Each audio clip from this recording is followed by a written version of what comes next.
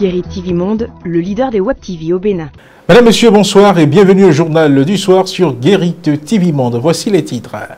Après le drame de Semekraké, l'identification des corps calcinés n'est pas possible à l'œil nu? Il faut recourir au test d'ADN. Décision prise par le gouvernement pour permettre aux parents des victimes de faire le deuil de leurs proches. Précision à suivre dans cette édition.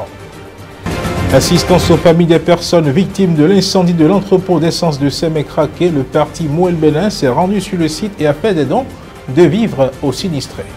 Et puis en page inter, au Burkina Faso, la junte au pouvoir vient d'essuyer une tentative de coup d'État. Qu'est-ce qui s'est réellement passé? Les détails sont à suivre dans la page inter de cette édition.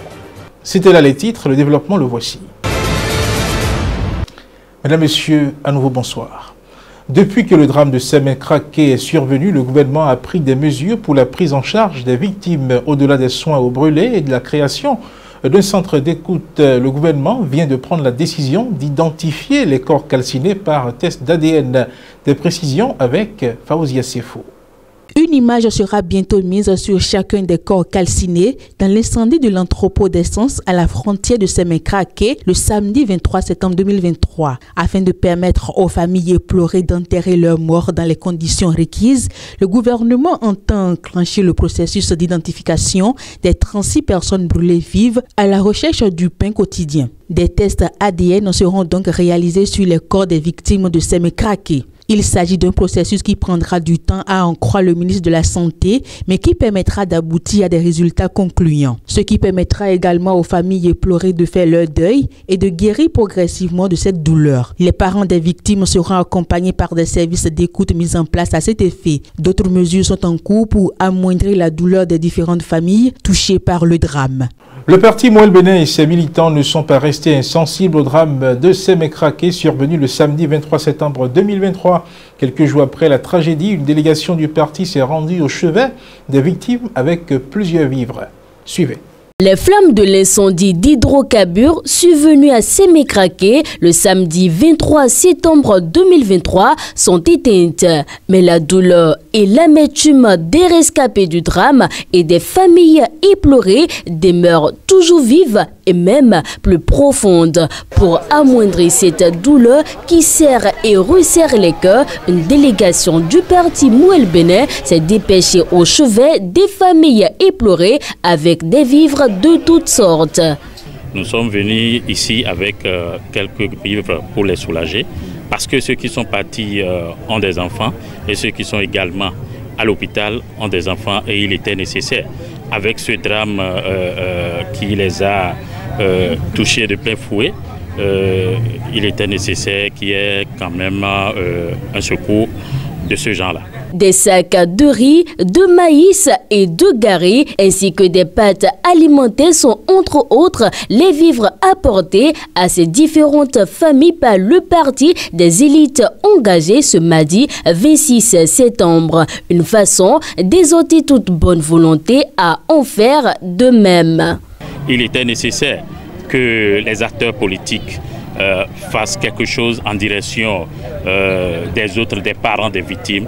Et c'est ce pas que Moël Bénin a décidé de faire ce soir. Nous invitons par ce pas tous ceux qui ont quelque chose encore avec eux à venir soulager euh, les populations, les parents des victimes de ce drame. Mikudo.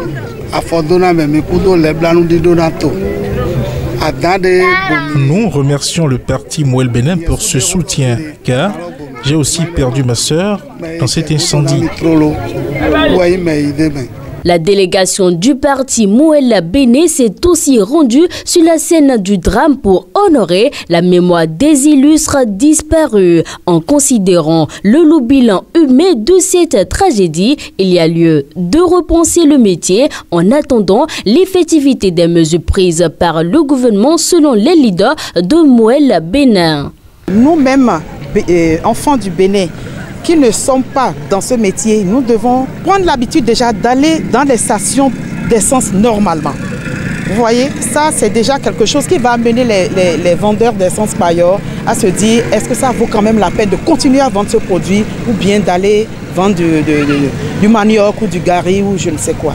Avant de démarrer ce périple, la délégation s'est rendue au CNHU de Cotonou pour apporter son soutien aux rescapés pris en charge par le gouvernement. Mais elle n'a pu rencontrer ces derniers en fonction des instructions du gouvernement. Des rumeurs faisant état de la construction au Bénin d'une base militaire française circulent depuis quelques jours sur les réseaux sociaux. Vérité ou mensonge Le porte-parole du gouvernement, Wilfried Liangombedi, a été interrogé sur le sujet et voici la substance de sa réponse. Je tiens à préciser qu'il est constant que j'ai affirmé en temps utile que nous bénéficions de l'appui d'instructeurs français, belges et américains notamment. Aucune base militaire française n'est en construction dans notre pays et davantage dans le département de la Libourie. Par ailleurs, il est de notoriété que les instructeurs français et belges dont il s'agit sont repartis depuis plus de six mois que leur mission s'est achevée. En clair, il s'agit d'élucubration de gens en enquête de sensation et qui sans aucune enquête s'autorisent des affirmations sans fondement. La page inter de cette édition, le gouvernement de la transition au Burkina Faso a affirmé mercredi avoir déjoué la veille une tentative de coup d'État près d'un an après l'arrivée au pouvoir du capitaine Ibrahim Traoré par un putsch. Dans la page inter de cette édition, Latifat Kouenou nous donne d'autres détails sur cette affaire. Suivez. Dans un communiqué lu à la télévision nationale, le gouvernement informe l'opinion publique qu'une tentative avérée de coup d'État a été déjouée ce 26 septembre 2023 par les services de renseignement et de sécurité burkinabé. Je cite à l'heure actuelle, des officiers et d'autres acteurs présumés impliqués dans cette tentative de déstabilisation ont été interpellés et d'autres activement recherchés. Fin de citation. Rajoute le gouvernement qui déplore que les auteurs de cette tentative de putsch nourrissaient le sombre dessein de s'attaquer aux institutions de la République et de précipiter le pays dans le chaos. La justice militaire du Burkina Faso a annoncé l'interpellation de quatre officiers soupçonnés d'être impliqués dans un complot contre la sûreté de l'État. Après des déclarations du gouvernement affirmant avoir déjoué une tentative de putsch, le parquet militaire sur la base de dénonciations dignes de foi faisant état d'un complot contre la sûreté de l'État en cours et mettant en cause des officiers a immédiatement ouvert une enquête circonstanciée pour élucider les faits dénoncés, a indiqué le magistrat militaire Ahmed Ferdinand Suntoura dans un communiqué. Rappelons que mardi soir, des milliers de personnes étaient descendues dans les rues de la capitale Ouagadougou à l'appel de soutien du capitaine Traoré pour le défendre face aux rumeurs de putsch qui agitaient les réseaux sociaux.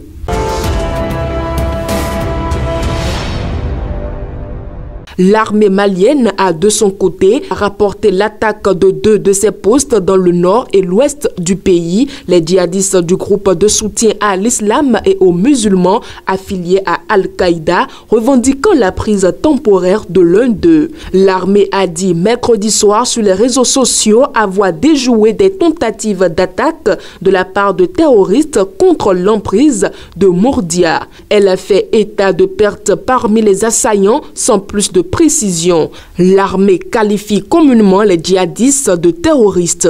Elle avait assuré plus tôt mercredi avoir repoussé le matin une attaque d'envergure contre ses positions à Akaran dans la région de Tumboutou. Elle n'a fourni aucune autre information. Le groupe de soutien à l'islam aux musulmans a revendiqué sur la plateforme de propagande Al-Zalaka une attaque contre les soldats maliens et leurs alliés du groupe paramilitaire russe Wagner à Akaran. L'opération a commencé par une attaque suicide dont l'auteur a été tué, suivi d'un assaut aux armes lourdes et légères, dit le groupe. Le groupe assure également avoir tué de nombreux soldats et en avoir capturé un. Il dit aussi avoir pris le contrôle du poste et l'avoir totalement incendié et s'être emparé de six véhicules et d'une quantité importante d'armes et de munitions. Les éléments fournis par les uns et les autres sont difficilement vérifiables dans ces zones reculées. L'accès à des sources indépendantes dans un contexte d'hostilité et de régime militaire est compliqué.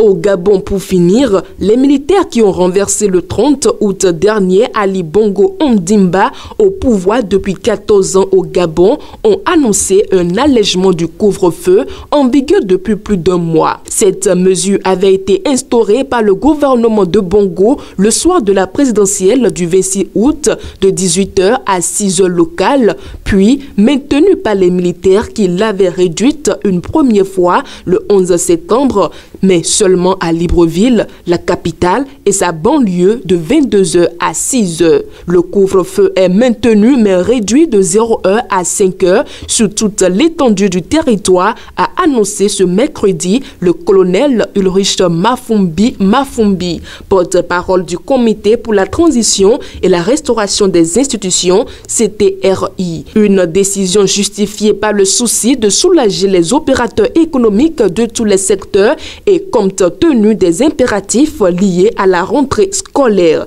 L'information a été confirmée ce jeudi à l'agence France Presse par le porte-parole de la présidence.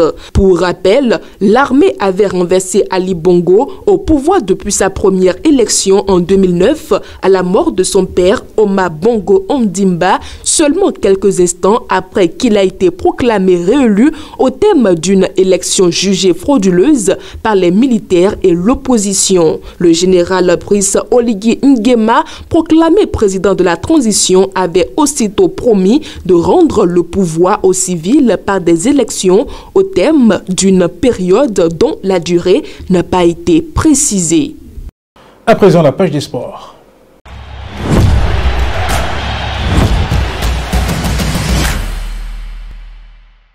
La page des sports de cette édition nous est présentée par Evelyne Dossou. Découvrez toute l'actualité sportive dans cet élément. Le sélectionneur béninois des U20 dames a dévoilé ce mercredi 27 septembre 2023 une liste des 23 joueuses dans le cadre des prochains matchs, comptant pour les éliminatoires du mondial féminin 2024. Après les échecs des Guépas Senior et des Amazones A pour les Cannes 2023 en Côte d'Ivoire et Cannes 2024 au Maroc, le Bénin a encore une chance pour être représenté à une grande compétition. Il s'agit en effet de la Coupe du Monde féminine qui se jouera en 2024. Exempté du premier tour des éliminatoires, les Amazones U20 du Bénin affronteront en aller-retour les Lyon U20 du Sénégal. La double confrontation aura lieu les 6 et 15 octobre 2023. Pour le compte de ce deuxième tour donc, des qualificatifs pour le mondial, le sélectionneur Abdoulaye Ouzerou a publié ce mercredi 27 septembre la liste des 23 joueuses sélectionnées. On parle de l'organisation des Cannes 2025 et 2027 à présent. L'attente est terminée. Le trio Kenya, Ouganda, Tanzanie a été officiellement désigné comme pays hôte pour abriter la Coupe d'Afrique des Nations 2027. Cette annonce a été faite lors de la réunion du comité exécutif de la Confédération africaine de football qui s'est tenue ce mercredi 27 septembre avec le Maroc en tant qu'organisateur de la Cannes 2025 et le trio Kenya, Ouganda, Tanzanie en 2027. L'Afrique se prépare à deux éditions passionnantes de sa compétition de football phare. Les deux pays auront la responsabilité d'offrir une expérience exceptionnelle aux équipes, aux supporters et aux téléspectateurs du monde entier. C'est la fin de ce journal. Merci de l'avoir suivi. Mais n'oubliez jamais que le problème n'est pas le problème. Bonsoir chez vous.